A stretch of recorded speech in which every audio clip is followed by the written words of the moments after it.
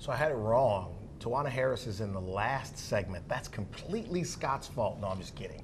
Dr. Felicia Young is here with us right now to talk about your great organization. I'm, it's, it's fascinating to learn that somebody's actually doing something that most people know they need, but don't know how to find it or that it exists anywhere. And I'm talking about Higher Minds of Education LLC and the work that you do. Tell everybody what that is.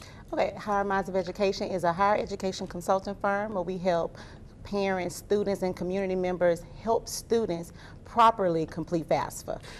Let's talk about what FAFSA is for people who don't have any young kids who are leaving high school, going into college or post high school education. Talk about what that is. It is the free application for federal aid. So mm -hmm. you are essentially applying for Pell Grants, mm -hmm. um, student loans, and any other programs that are through the federal government. This is so awesome because I don't think people understand the impact of that gap between people understanding how to get through that process and actually having the kids get access to resources available, right? Right, definitely. FAFSA is actually a graduation requirement here in Louisiana. Mm -hmm. So every student in the state of Louisiana has to complete a FAFSA in order to graduate. Do you have data that could reflect what percentage of kids are not doing it because of either not understanding how to go through the process or not having help to go through it?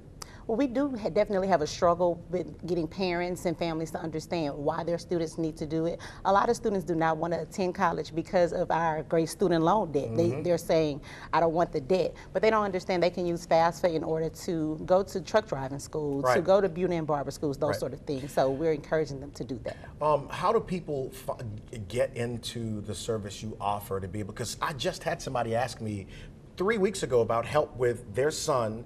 Uh, somebody works for a client and like they're struggling to get through that. How does somebody access your resource? Well, we definitely have a website. It is www.hmofed.com. Um, Say it one more time. www.hmofed.com. Right. Okay. So you can find me there, but I'm all over the state of Louisiana, traveling from school to school, community to community to help students properly complete FAFSA. Tell me about some of the experiences with parents once you've taken them through the process and they've actually gotten it done and their kids are able to get access to these resources. They are super excited because it seems like such an overwhelming process. Right and it's really not. But when you have someone there to hold your hand and walk you through it, it's a better process. So what made you come up with this?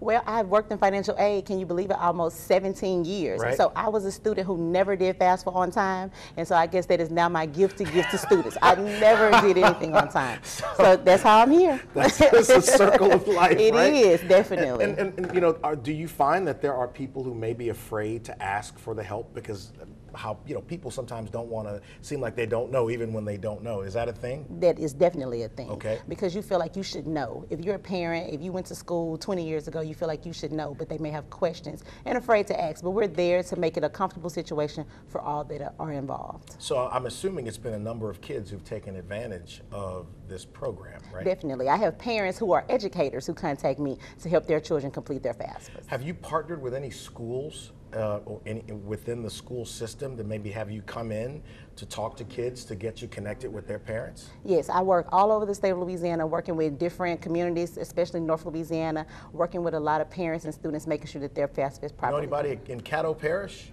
I do not know anybody in oh Caddo Parish. I got a guy. okay, definitely, definitely. The school superintendent is somebody okay. I know up there. All right, one more time. How can people learn about your program?